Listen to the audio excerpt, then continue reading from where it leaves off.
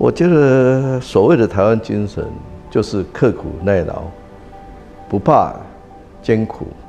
然后勇敢打拼，就是与人为善的一种台湾精神。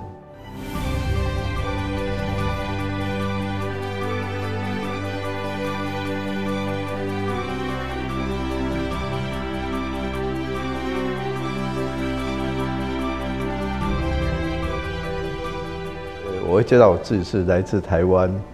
啊，那现在居住在巴拉圭的一个东方市，啊，是世界台湾商会联合总会的一个成员。巴拉圭是在南美洲的一个内陆国家，是等于是南美洲的一个心脏，哦，因为它没有港口，哦，那国家也不大，但是我们感谢他，就一直在邦交上一直支持我们中华民国，啊。南美洲对于外来的这些民主都很和善的，尤其是说我们在巴拉圭当地的台商，他们对我们很有好感，因为我们在当地经商，我们开店都会提供就业的机会，回馈这个当地的社会。那平常呢，我们也经常办理一些社会的公益活动。哦，那甚至就是说，我们也赠送机车给政府来维护这个治安。结果每一次，当然每个国家都会有时候会有暴动，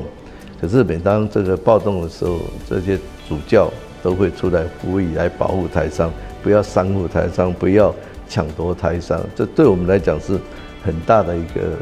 安定的心理。